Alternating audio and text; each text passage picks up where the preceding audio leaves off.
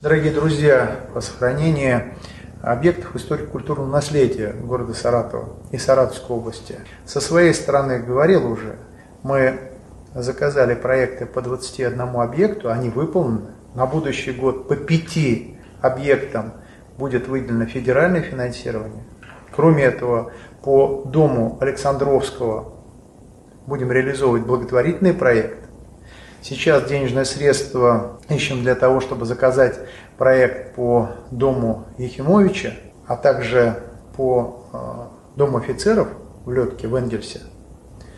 Кроме этого, решение прорабатывается по 99-й школе. Вот программа.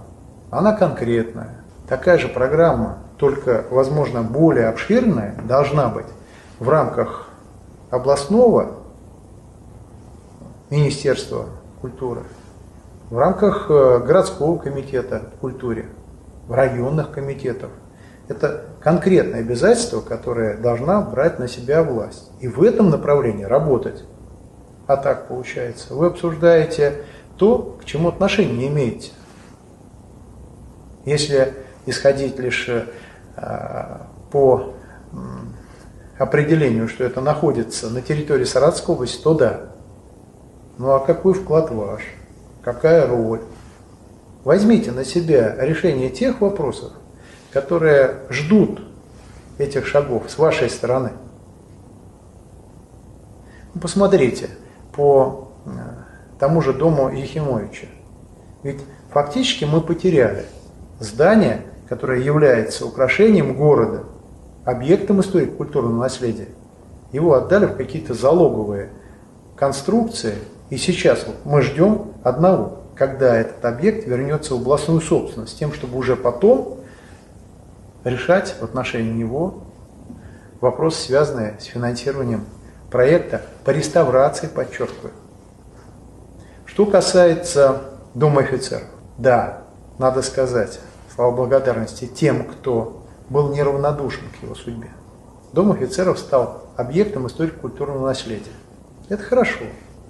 Мы нашли денежные средства для того, чтобы сделать дренаж и отвести воду от его фундамента. Заслуг у этого здания огромное количество. Когда их сейчас обсуждаете с позиции, ему надо присваивать статус федерального объекта, вы присвоите сейчас хотя бы статус памятника областного значения. У него его нет. А это в ваших силах сделать дальше. Если вы хотите его сохранить, давайте обсудим вопрос проектирования и подготовки необходимых материалов для того, чтобы его сохранить и реставрировать.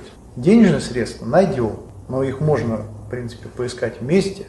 Там кровля нуждается в срочном ремонте, там просто нужно ее хотя бы временно оборудовать тем, чтобы здание быстро не разрушалось.